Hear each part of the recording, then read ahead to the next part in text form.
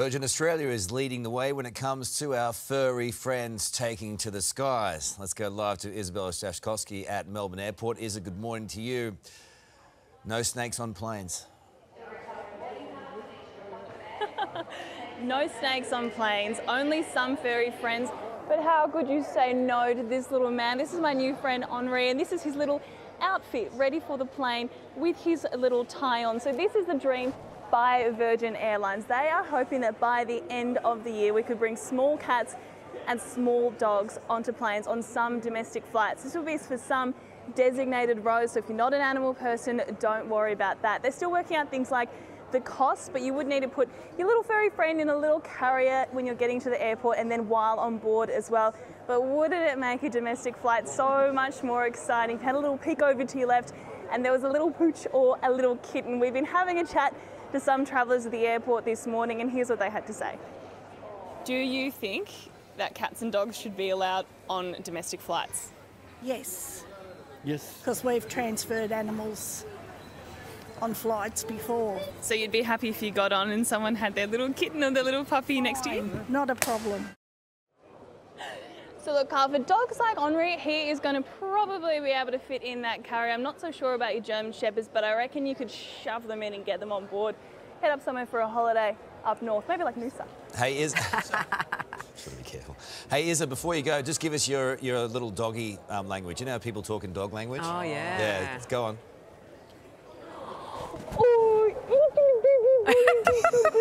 Sounds a lot like my dog language. okay, I'll see that one. Brookie, give us some dog language. Oh, you are such a good boy.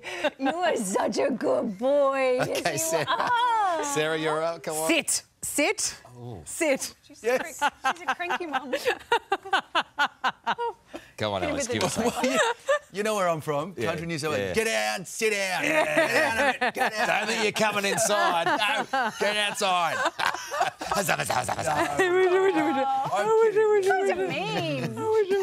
Depends what sort of dog it is. Well, Virgin Airlines is on track to make history, announcing its intention to be the country's first airline to operate flights with pets in the cabin. For more, we're joined live by Virgin CEO Jayne Hrdlicka. Jane, good morning to you. Is that your little pet there? Well, this is gorgeous little Marcel, and uh, the key thing here is small dog.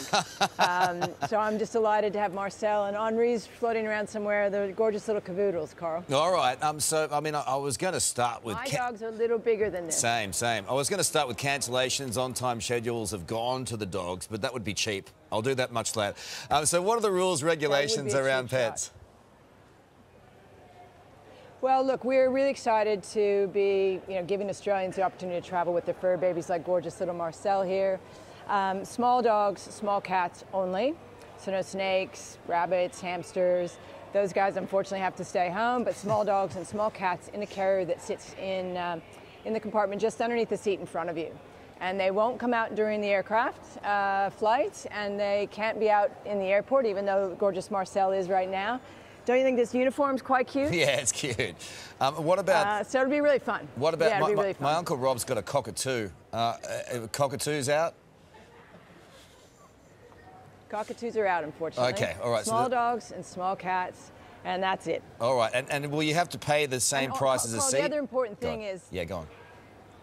Uh, we're just working through the details on that now. Yeah. And uh, the other thing for people who aren't excited about dogs and cats being allowed on board, they don't need to worry because there'll be a specific number of designated rows, and uh, and the dogs and the cats will be in a carrier underneath the seat in front.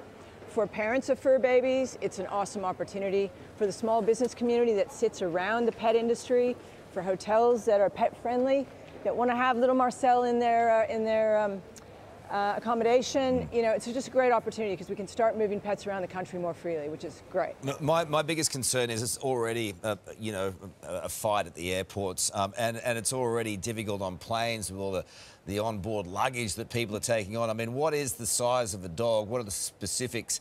And you, can you imagine the Barney Rubbles that are going to go on? How are you going to get through that? Oh, look, I think it's pretty straightforward because you have to have a, a pre-approved carrier, and that carrier size has to fit in the seat underneath you, um, the seat um, space underneath you, um, under, underneath the seat in front of you. So it's a really predefined space. All right. Um, dogs like mine, dogs like yours, mm, they're not going to make it. So, you can squeeze but them if I get a new puppy, you know, that new puppy's going to be, yeah, the new puppy's going to be good. All right. Um, how, how long have you got left um, as boss of, of Virgin? Um, and, and how's the search going for your replacement? I, I hear Olivia Wirth's just left Qantas. Is there any chance that she's going to be uh, in the running? Well, look, I'm just so honored, Karl, to have had the opportunity to, you know, be part of the Virgin Australia story. You know, the darkest of times, toughest of times during COVID, um, our toughest times as a company.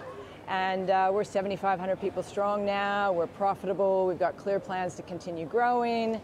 And, uh, you know, we've rebuilt almost every part of the airline. So now's the right juncture to bring somebody else in new. In my mind, there's another three to five years in the next phase of the journey. I'm four in, and the first two were, no pun intended, dog years. and um, so I- I'm, re- I'm really excited to help the next person transition in, whenever that might be. And these, these processes, sorry, these processes take time. So yeah, so I'm really honored and really excited about what the next chapter looks like, and and super keen to welcome the next CEO of Virgin Australia, whenever that might be. Good on you. Um, look, you've, you've had your own personal um, hardships through that journey, and I, and I think you're awesome. Well done. Thanks for being with us. Appreciate it. Sarah. Well, Virgin is inviting furry friends on board its flights in Australia in an Australia First plan. Let's go live to Izabella Staskowski at Melbourne Airport. Isa, good morning. Uh, what's the reaction from the travellers and the good boys? Yeah, plenty of good boys around who are very keen on a brook. I know that Alex and Karl were a bit of fun police a little earlier, but everyone that we're speaking to at the airport here is really all for it. So if this does occur, it would mean that from next year on domestic Virgin flights, people could bring their cats and their dogs onto that flight with them. They'd be stowed away just in front of them in a little carrier that would be approved by Virgin. So very exciting stuff. And look, I think it would be pretty amazing to be getting on a flight and seeing a beautiful little dog or a cat. And here are some kids that we spoke to just a little earlier, and they had this to say. Do you think that cats and dogs should be allowed on planes? Yes.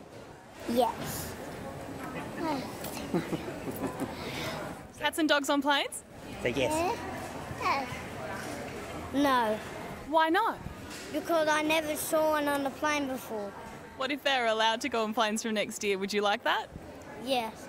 Big dogs or just little dogs? Little dogs. And look, don't worry about the German Shepherds, Karl, because we've got dogs like Marcel here, who is at the airport bright and early for us wearing his cabin crew outfit. So very on brand with Virgin, very excited to get away, maybe to Perth or to Broome. Where'd you like to go, Marcel? Sounds ah, like oh, a yes. Fiji. Okay, so we'll have to go to Fiji together and we'll we'll be filming some lovely footage for you guys. But look, Marcel's on board, the kids are on board, I'm on board. I think it's going to happen. I think it should happen. You might need separate planes though for cats and dogs. Like Imagine famously, that. they, they don't get along. No. Thanks, Isa. Separate cabins, that's for sure. The kids want a dog at the moment too.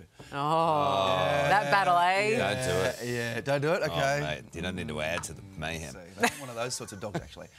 Hey there, Today fans. Sarah and What's my name again? oh my goodness, Karl. Hey, thanks for watching our YouTube channel, though. Subscribe now for more news, special reports, and amazing Aussie stories. And Karl misbehaving, Whoa, of course. that never happens. always happens. What's she talking about?